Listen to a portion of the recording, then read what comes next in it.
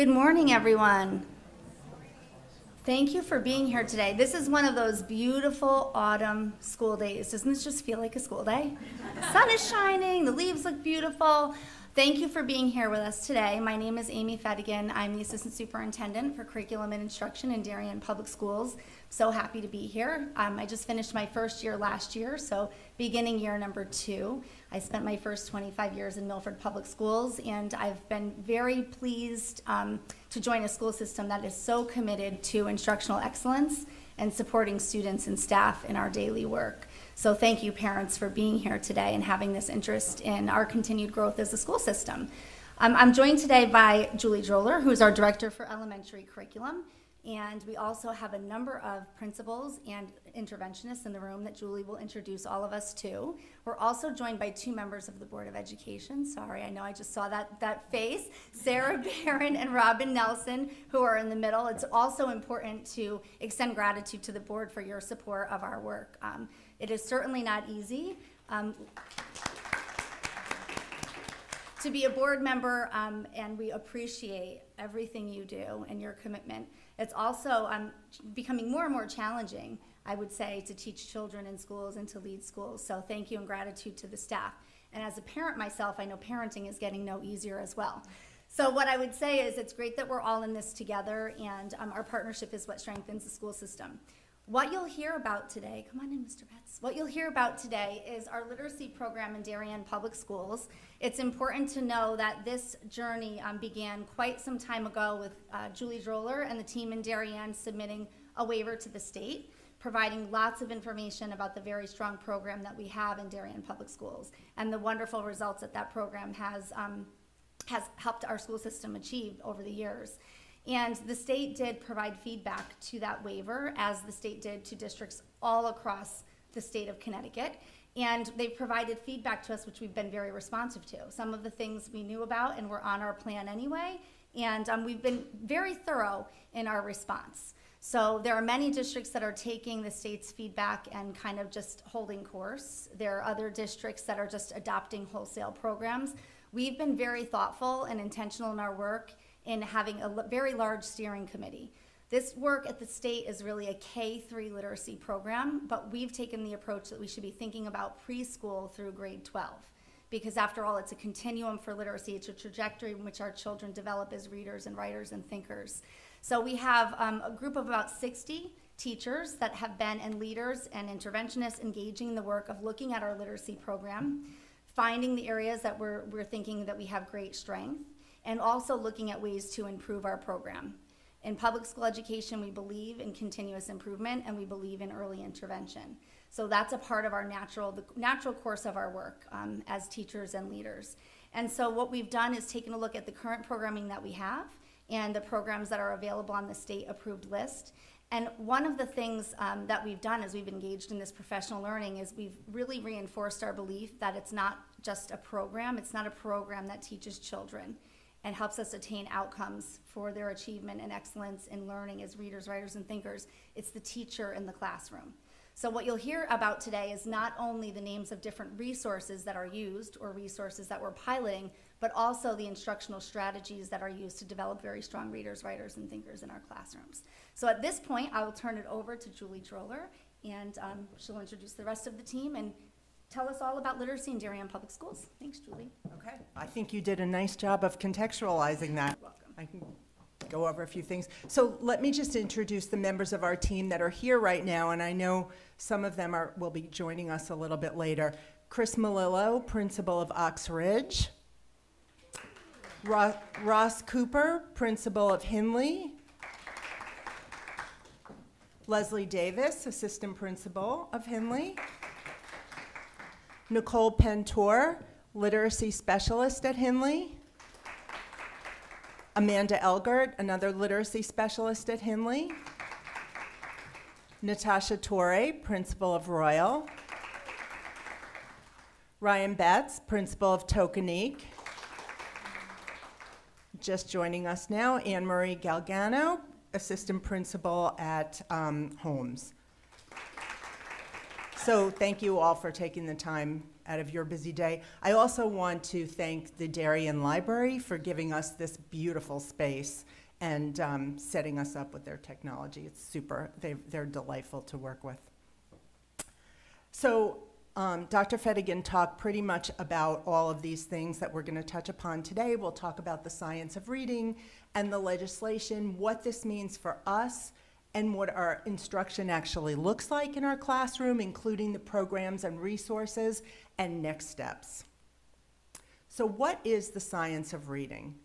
The science of reading is a research based approach. It's based on an understanding of those foundational skills that all children need explicit instruction in to learn how to read.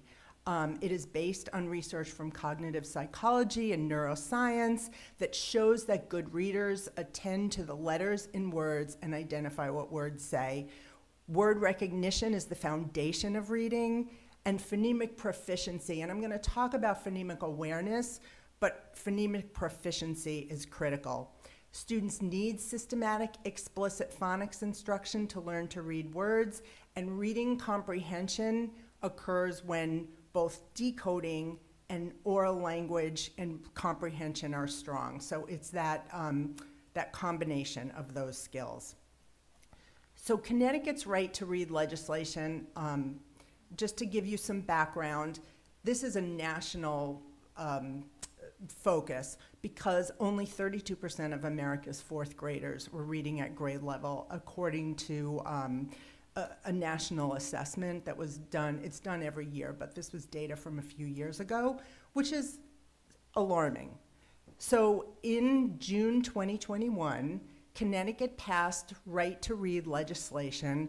And just to summarize the key components of that, it was a coordinated state, where it is, a coordinated statewide plan for reading instruction. Um, it identified specific universal screening tools in grades K 3, universal administered to all students three times a year to, sto- to um, identify students who are not at benchmark so that districts can intervene. Um, it also includes a menu of specific reading programs that are based on the science of reading that districts are um, instructed to choose from. And there was a process for districts submitting a waiver, and 90 some odd districts in the state did that. And we received feedback on December 1st of last year indicating that we had parts of our program that were approved and parts that um, needed work. So what does this mean for Darien? Based on the, the waiver decision, we pulled together a literacy committee. As um, Dr. Fedigan said, we have over 60 educators. It's very comprehensive. We started that shortly after we received the feedback, and we started out by identifying, as a district, what are our core beliefs about reading instruction? What is really important to us? And what would drive our review of the resources that we are um, investigating? Next, we had a smaller subset of that committee um, really our K 3 educators, including teachers, administrators, our literacy specialists, who really understood the nuances of literacy instruction and our data, our students, te- what teaching and learning looks like. And they developed a tool to review materials based on the, the tool that was used by the state to um, look at all of the waivers. So, so that team reviewed materials, they conducted site visits, um, they, they also um, weighed different aspects of the program. They did some research um, as well, learned a little bit more. We've been studying the science of reading for a few years since you know we're very current on research, but even did a little bit more about why these programs were on the list. Um, and then the team determined that there was one program in particular that they wanted to pilot. So Into Reading was a core reading program that our team decided to pilot, and we talked about what that would look like. We wanted to pilot in grades one through three. The reason that we didn't choose kindergarten to participate is because there's also legislation about play-based learning, which we're very excited about, and we wanted that to be the focus of our kindergarten teachers. So we included these three grades. We have teams from across five schools. We had some teachers who were on our committee, but because they're whole teams, we had some teachers who were not. So it was a mix, and it was determined really by the principals. Um, we just felt like um, we, we didn't want to be biased. We really wanted to be like everybody is a part of this work. So the next step for us is decision making, and we are looking at um, do we we have three choices. We keep our current program as is, keep our current program with enhancements, or choose this Into Reading program. And we all decided, as Dr. Fedigan said, we are a district of continuous improvement. We know that we always have work to do. Um, and we always will, because we're always learning new things. So we decided that one of the choices would be our current program with enhancements, and another choice would be into reading. So that's where we are now. So what does literacy instruction look like in Darien? All students, regardless of the program or materials, receive direct instruction in phonemic awareness in grades K2 and students who do not meet, be- meet benchmark beyond that. All students in K3 receive explicit direct instruction in phonics. We use the Fundations program, um, which is scientifically research-based, based on an Orton Gillingham multisensory approach. Um, all students receive direct instruction in spelling, vocabulary, reading comprehension and fluency, grammar, and writing. So, balanced literacy versus structured literacy is um, one of the reasons behind this science of reading approach. Balanced literacy emphasizes reading instruction through various approaches, including word study, high frequency word instruction, a variety of texts, some that are teacher curated, some that are student selected, explicit writing instruction, um, and it emphasizes student centered learning and critical thinking. One of the misconceptions about balanced literacy is that balanced literacy means guessing at words. That's not what balanced literacy is. It is that balanced approach. Structured literacy really emphasizes phonics instruction and practicing word patterns, using the knowledge of word patterns to decode text. It's based on the idea that children can't encode, which is spelling, or decode naturally, so these skills must be developed, which we agree with.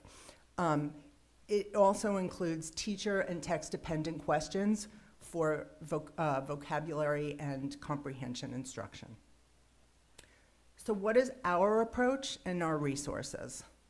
We, we do believe in a balanced literacy approach, um, and these are the various components of balanced literacy. There are methods of teaching, but at the heart of it all is, is reading workshop all of the things in the science of reading, that explicit instruction in phonemic awareness and phonics, fluency, we believe in explicit instruction and we provide that explicit instruction. However, the reading workshop is an opportunity for students to apply those skills independently and have opportunities to practice in a variety of texts. Teacher curated texts, and I'll show you some examples what we call decodable text or connected text, where students are required to use their phonemic awareness and their phonics skills to read the words, as well as leveled texts and, and chapter books, because we believe that students need both. Um, we also, and I'll, I'll talk more about all of these components. Some of them are whole group, some of them are small group, but it is a balance and this is just the definition of, of some of those terms. Balanced literacy, I talked about that. It's that framework. Phonemic awareness is the ability to hear and manipulate sounds and spoken words. So, for example, um, if, a if a child can identify um, the sounds they hear in cat, k, a, t, or think about if you took the beginning sound off of cat and, and put an m sound, it would be mat. So it's the ability to hear um, rhyming words and, and being able to um, break words into syllables. So that is phonemic awareness. Phonics is the understanding that letters represent sounds and being able to break apart those, those letters and read those words in text. Orthographic mapping is a process of connecting the sounds in words to the letters that make a word, and, and we'll talk about that more to solidify it and map it in the brain. Um, Cueing is a strategy that prompts readers to use multiple sources of information to figure out words. So, for example, um, it might be like slide your finger through that word and read each sound. Um, it could be go back and check it, does it make sense? So, we do cue for meaning, but not as a way to decode the word. And that is one of the shifts that we have made. Um, decodable text, as I said, requires students to use their phonics skills. So the majority of the words, not all of the words, but most of the words in that text, students need to use their skills to figure out the word and read the text. So how is our program aligned to the phonics of uh, uh, the, to the science of reading? As I explained before, we use, um, and, and I'm going to get to this later, but we use Heggerty to explicitly teach phonemic awareness. We use Fundations to teach phonics in grades K 3. We provide explicit instruction in comprehension, fluency, and critical thinking text analysis through our reading workshop approach. Um, and that includes teachers thinking aloud, teachers reading aloud, and asking um, open-ended questions where students have opportunities to turn and talk and build their oral comprehension, their listening comprehension, their speaking skills, as well as their critical thinking and, and analysis. Um, they receive explicit instruction in oral language development and vocabulary and that academic discourse through read aloud, which is so important.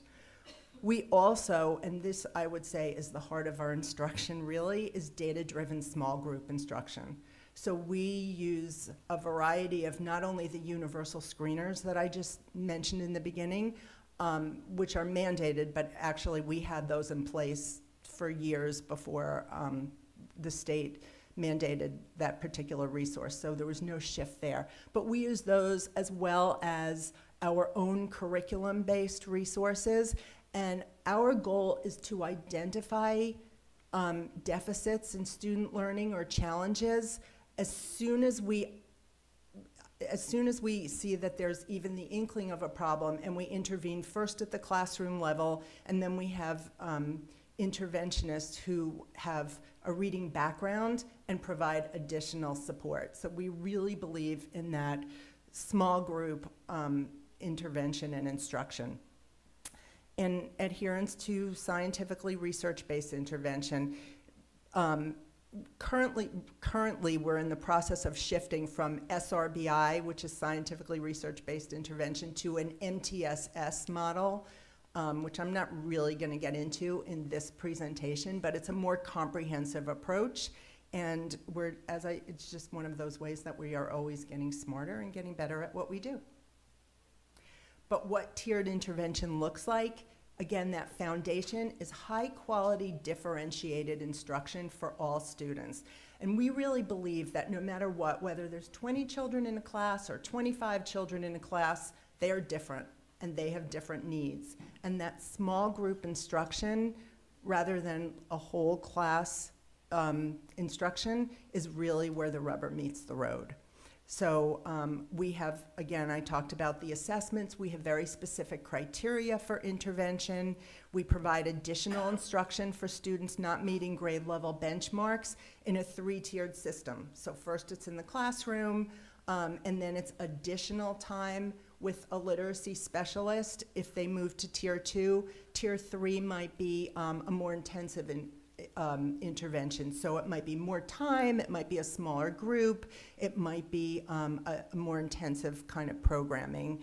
We have very targeted goals for each student and progress monitoring, which means we're checking in very frequently to make sure that they're making the progress that we expect them to make so that we can close the gap. And again, early intervention is key because the earlier we do that, the more likely we are to um, ensure that students will be successful readers. We have school-based teams that constantly review progress and adjust plans, and we have a robust plan for communicating with families along the way. So this is our assessment framework. Um, it- I've by no means included everything, but those universal screeners that I talked about, we use something called aimswebPlus, um, and it has subtests that identify all of those foundational skills. We have formative assessments, which are um, probably our most important assessments, where it, formative assessments are during learning, where teachers can respond and adjust. So it's just listening to kids, their response to questions, listening to students talking. It's watching kids as they work. It's conferring with readers and having them read aloud and asking them questions about what they're reading and what they're thinking. Um, it's performance assessments and some on-demand writing, which might mean like um, write a, a quick narrative and, and you know show off all the skills that you know and then student and then teachers can assess that and look at their elaboration and their structure and their conventions um, it's notebook responses particularly in the upper grades we also um, emphasize student self-assessment we teach students to use checklists and set goals for themselves and engage in peer conferences because we think it's really important for learners to have agency over their own learning. Um, summative assessments are assessments of learning. Um, I typically think about a math test at the end of a chapter is a good example of a summative assessment, or the state test. Did students master the content that was taught and expected? So, as I said, we have been studying the science of reading um, for the past few years. Explicit phonics instruction is not new. We have been using the Fundation's um, program since 2015, so it's almost 10 years right now. We implemented um, Heggerty Phonemic Awareness Program three or four, I think it was four years ago actually, beginning in kindergarten. So that is not new to us. We have shifted in um, our use of decodable text. We now have a blend of leveled and decodable text. We are, are using decodable texts primarily in kindergarten and first grade for students to practice their phonics. We are very conscious about knowledge building through text sets so that students can really expand their background knowledge. Um, we are prioritizing print strategies. So we're, we're prompting when we when teachers prompt students when they read with them, they're prompting for decoding and blending to make sure that they're using those skills. We have a process for high frequency word instruction that is um, through that orthographic mapping approach. And um, it- it's a, a process that was really research based but developed by our in house literacy specialists. And um, our teachers are using it, and it's very successful. We um, have shifted from thinking about reading levels to the application of phonics skills, particularly with our young readers. When we think about what's benchmark, we want them to be able to be solid in applying their phonics skills.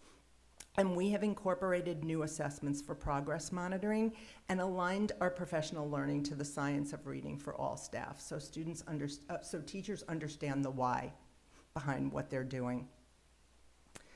High frequency word instruction, I, I talked about that orthographic mapping at the beginning, but it's actually when your brain maps the sounds in words to the letters.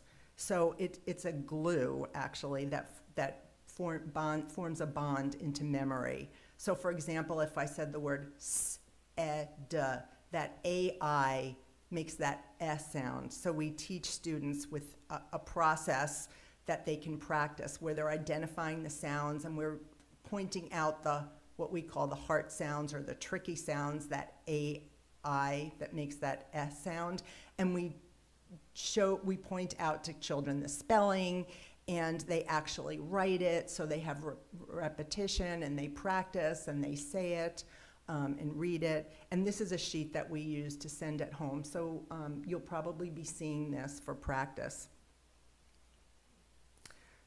So, what are students reading in school and at home? And this varies a little bit by approach. So, I'm going to talk about our current approach and then I will share what they're reading in the pilot. So, our children, as I said, particularly in kindergarten and first grade, you'll see decodable text. Um, this is one of the series that we use. It's not the only series. We have actually been very fortunate um, that the district has supported our need for libraries with decodable text. Um, but these are, we, Jump Rope Readers is the name of this series, and they're very highly engaging. They're chapter books, they're series books, so students feel like our, our little kindergartners and first graders feel like they're reading chapter books. They have engaging chapter uh, characters and stories that run through the series. There's six books in each series. They are fiction and nonfiction, and the nonfiction have are connected to the characters and stories. They sometimes learn things about a library, and so the kids really, really love them. They're highly engaging and they provide the phonics practice that is so important. They're also well written, and that's something that's just happened in the publishing world with, um, you know, all of the attention to the science of reading. That more and more publishers are putting out high quality uh, decodable text, not you know the fat cat sat and things that didn't make sense. So we're really happy about these, and they build vocabulary, all the things. This is just a peek into what they look like, and um, Teachers unpack them with students. It's all in the, the front cover of the texts. Hopefully, if your children are reading them, you will see these coming home and practicing at home. So this is just one sample, Tam and the Gnats. Um, and I'm not, this is just part of the book, but, um, but you can see that they're really focusing on that short A sound and it's repeated over and over, but in a way that makes sense to kids. So level texts are something that um, a few years ago, that was like the, the main part of our libraries. Um, they were leveled according to a, a leveling system that really looked at um, not, on, not only the words, but more the concepts and the features of like flashbacks or continuous text, number of sentences on the page. So they're pattern books. They relied a lot on the pictures. They do build comprehension and vocabulary or language and syntax, like how sentences go, how stories go. So we're not completely getting rid of them because they are important and, and you know, kids read things in the world. Um, they are also excellent for knowledge building. However, it's, that's one part of our library. So again, there's now more of a balance. So this is an example of, this would be a level A book. It would be like the, the, you know, obviously level A is the lowest level, on the way to school. We know that our kindergartners can't read those words. Um, I see the sign. That's a very hard word, that word sign. For any, it, you can't decode it. Um, so they have to look at the picture to figure that out. And that is what we don't want them to do when they're building their reading skills. So again, great for oral language, great for knowledge building, not great for beginning found, for developing those foundational skills. So what is in the book baggies of our children in grades K through 2? There is a blend of leveled and decodable text, more decodable. Um, they might also bring home songs and poems, they might bring home alphabet and other charts that are used in the classroom. They might bring home books that are made in school, high frequency word lists, books from the school library. Um, so some of those things are, are um, things that kids can read on their own, and some of them are things that parents should read to them. And I would say, no matter how old your children are, continue to read to them at home. It is one of the most important things that you could do for reading, for vocabulary, for like just building that love of reading and modeling it, and just time with your children. it's um, the best. So now I'm shifting to the Into Reading pilot. So um, I'm going to talk about the materials and resources, the professional learning that we provided to our, our teachers who are participating in the pilot, the communication, and the feedback. So again, we chose this program because of the core programs that were on the state's list. This one mo- most closely aligned with our core beliefs, and there were components of it that our committee felt strongly we really liked. So our teachers um, received two teachers' manuals. There's a teacher's guide and there's a structured literacy teacher's guide. That's those foundational skills. That is in um, kindergarten and, uh, I'm sorry, first and second grade. In third grade, it's all in one book.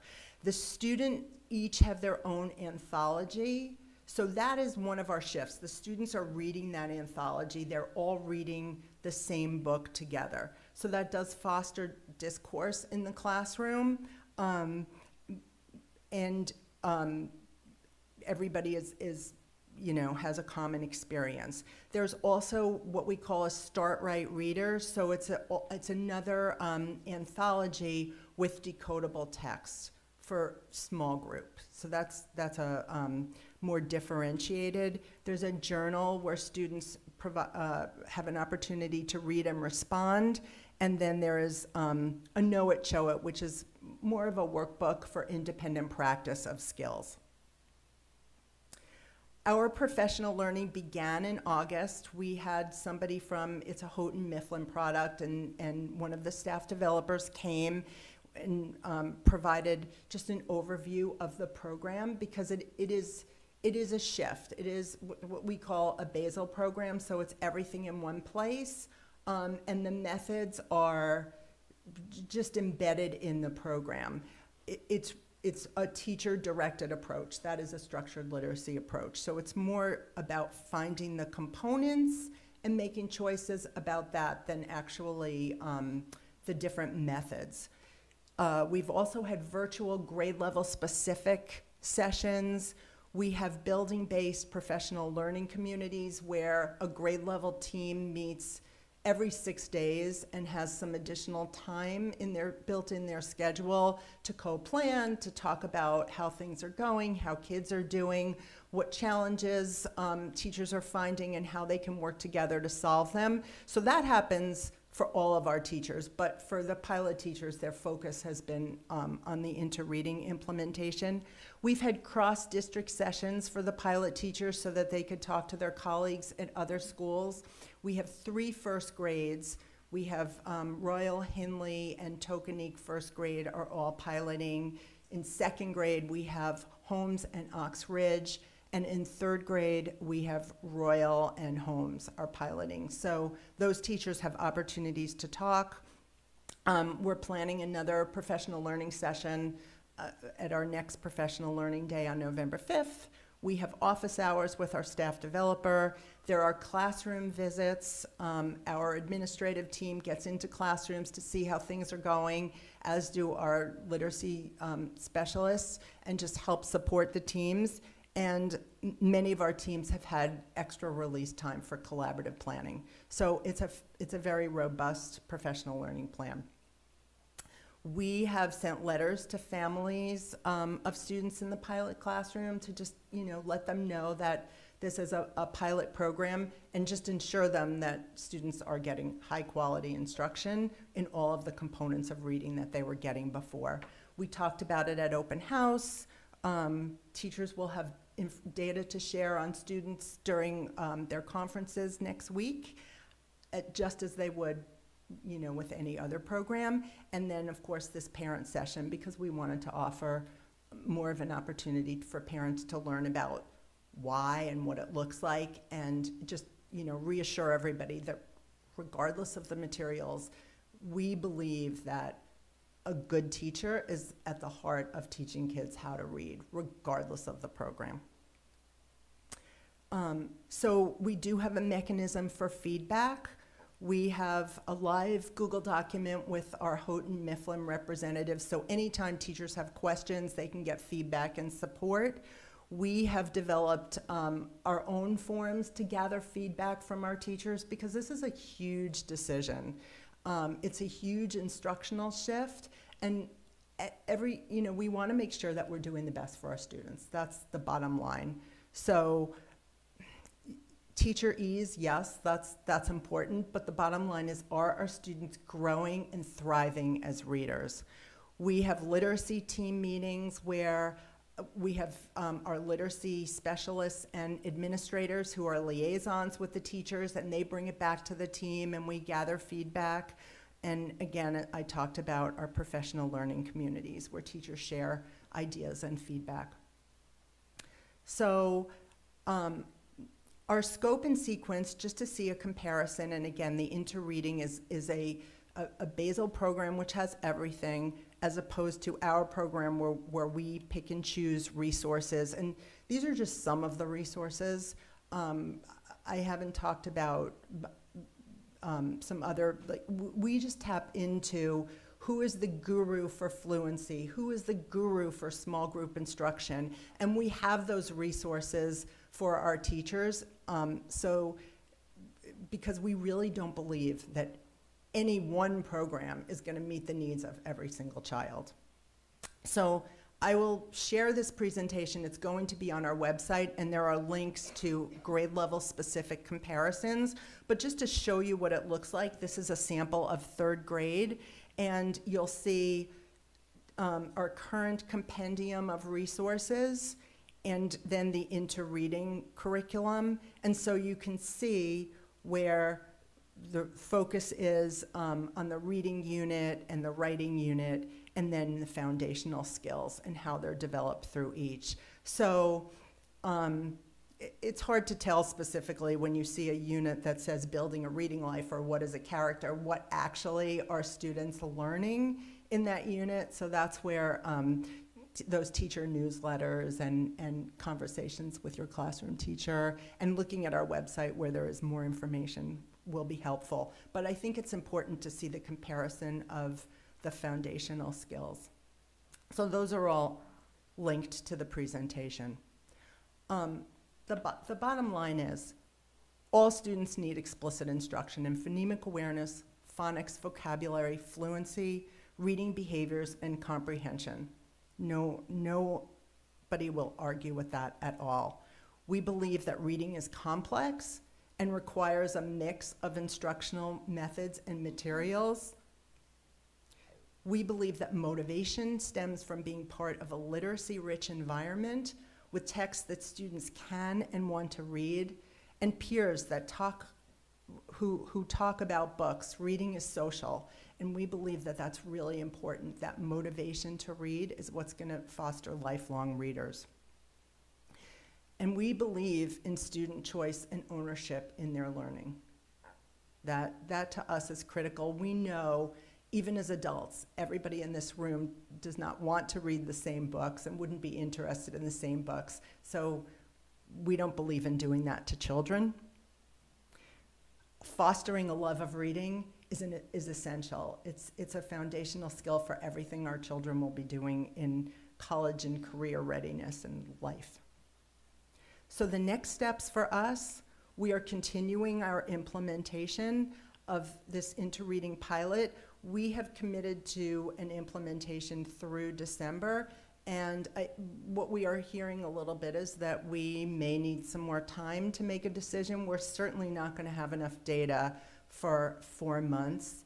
Um, However, that, that is, um, you know, we're looking to get as much as possible. We have also implemented some new resources as part of our compendium of resources. Vocabulary and grammar were two areas that we identified as gaps. We have implemented um, a vocabulary program, it's called Word Love, and our goal is to get kids to fall in love with words and really develop a, a word consciousness. And um, so any teacher who is not part of the pilot is, is implementing that, and we're gathering feedback on that. Um, and in both programs, I would say the feedback that we've heard about vocabulary is that it's, th- that is definitely going well, regardless of the approach, and it's a need, and um, people are very happy about that. We are piloting also some updated writing resources that have grammar and spelling um, embedded in them. So that is something that, that some of our teachers are also, I, wouldn't say piloting because it's our same program, it's just an enhanced version, but we're getting feedback on the um, effectiveness of that and looking at student achievement when we, when we make those decisions. We're gathering teacher feedback. We are looking at data. We are looking at classroom observations and what the instruction looks like, what the level of engagement looks like in our students, um, what the conversation sounds like, and we're planning for next year's budget. We're planning for multiple options um, at this point because, as I said, you know, we're, we're really not sure. We are really going into this with an open mind and thinking about what is the best for our learners in our classrooms in Darien. So with that, I thank you for joining us today. And um, I know some of you are taking pictures. This will be posted on our website, and I'll ask the principals as well to just share it out with everybody. It is being recorded for anybody that wasn't here. So I thank you for joining us, and if anybody has any questions that I can answer or some of our team can answer, we're happy to do so.